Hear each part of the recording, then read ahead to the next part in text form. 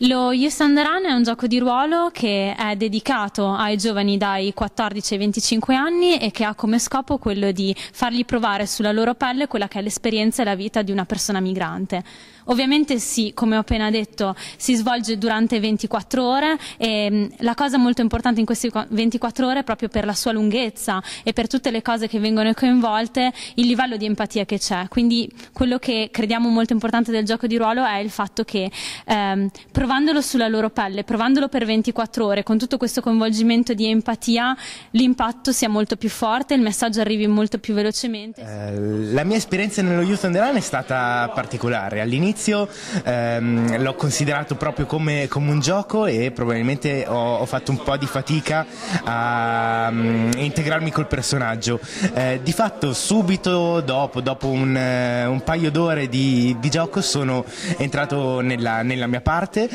ehm, e ho vissuto il, queste 24 ore proprio come, come poteva viverle un, un migrante. Eh, nel mio caso ero la, la, la moglie di un, ehm, di un, del capo della famiglia eh, che cercava di tenere unita la famiglia nel, mm, nel, nel viaggio che faceva dalla, dalla Somalia all'Italia, eh, cercando appunto di, di richiedere asilo per, perché eravamo eh, perseguitati in, mm, nel nostro territorio.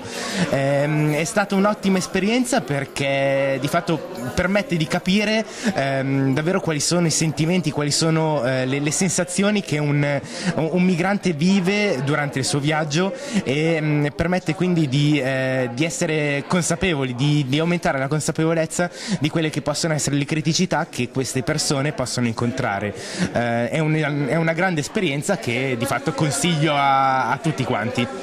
Un'altra cosa molto importante su cui noi abbiamo basato mh, questo gioco di ruolo è il fatto che al di là che sia uno strumento utile sul territorio, quindi risponda a un'analisi dei bisogni che sia verificata, cioè sensibilizzare i giovani alla tematica eh, delle migrazioni, c'è anche il fatto che è assolutamente in linea con quella che è la strategia dei giovani della Croce Rossa Italiana. Ehm,